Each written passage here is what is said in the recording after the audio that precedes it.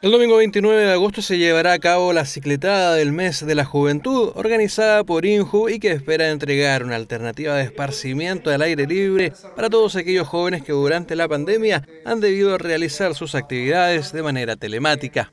Para todos los jóvenes que quieran participar de ella mayores de 15 años.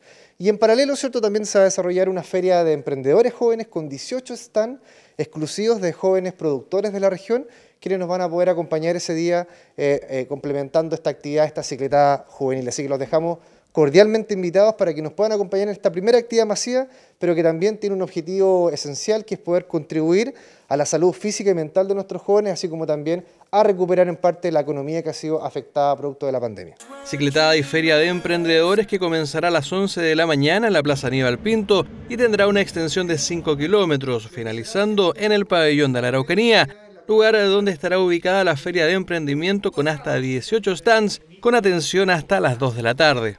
Y la verdad es que este hito ¿ah? a nivel regional y comunal de la primera actividad masiva es un desafío muy importante para lo que se viene. E, este, el año, lo que queda del año 2021 y el 2022 va a ir abriéndose a muchas actividades.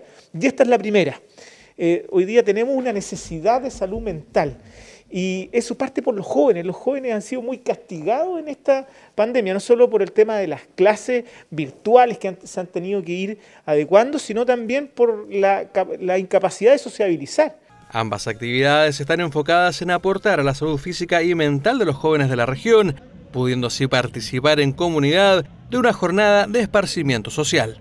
Bueno, para el gobierno regional, a través de su Corporación de Desarrollo, siempre coloca el, pabellón Araucanía a disposición de las instituciones y especialmente lo que tiene que ver hoy día con este apoyo tanto al Instituto de la Juventud, que está levantando esta importante iniciativa, y también a la, conjunto con la municipalidad, el poder invitarlos, el poder invitar a toda la juventud y a la, a la ciudadanía de Temuco para esta actividad que solamente va a ser el día 29, pero también va a tener una expo de emprendimiento de jóvenes. Adicional a los stands de emprendimiento, se habilitarán algunos para la entrega de preservativos, obtención de clave única, orientación de tarjeta joven y asesoría en emprendimientos para todos aquellos que asistan a esta actividad, cicletada en la que será obligación además contar con el pase de movilidad.